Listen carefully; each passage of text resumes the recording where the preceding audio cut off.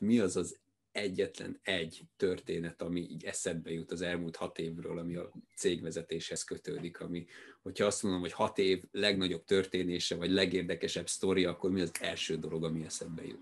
Most milyen jó lett volna, ugye, ha előre megbeszéljük a kérdéseket, de nem tettük. De szerencsére beindult az asszociáció. Képzeld el, az ugrott be, hogy amikor tavaly márciusban bezárt a világ, és hirtelen volt egy, egy egy megijedés, hogy ja, itt, itt projektek meg fognak állni, itt az ügyfeleink leállítják a projekteket, itt munkahelyek fognak megszűnni, akkor, akkor, akkor leültünk és elgondolkoztunk, és, és kitaláltunk egy talonnak elnevezett rendszert, ami, ami arról szólt, hogy megkértük a kollégákat, hogy a fizetésüknek egy részét, 10%-át tegyék be egy közös kalapba.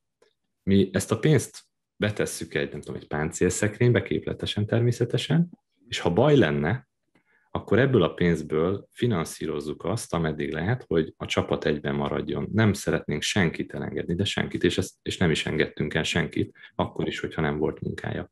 És azt az ígéretet tettük a kollégáknak, hogy ezt a pénzt egy év múlva vissza, visszafizetjük. Ez meg is történt természetesen.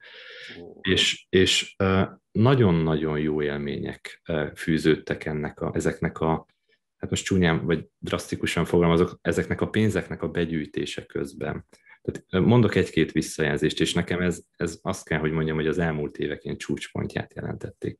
Volt olyan kolléga, aki azt mondta, hogy na hát, úgy kértetek tőlem pénzt, hogy á, szívesen adok, mert a közösség egyben tartásáért teszem, és úgy kértetek tőlem pénzt, hogy még szimpatikusabbak is lettetek tőle. Ezt hogy csináltátok?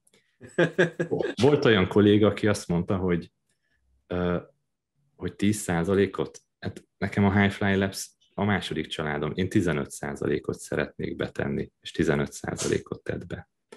Hozzáteszem, kamatostól visszafizettük a, kamatostól visszafizettük a pénzt, és és, és vol, van még néhány ilyen sztori, és ezek, ezek nagyon lélekemelőek.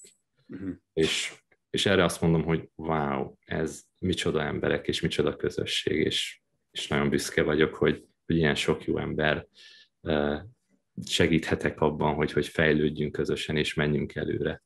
Ez óriási, óriási.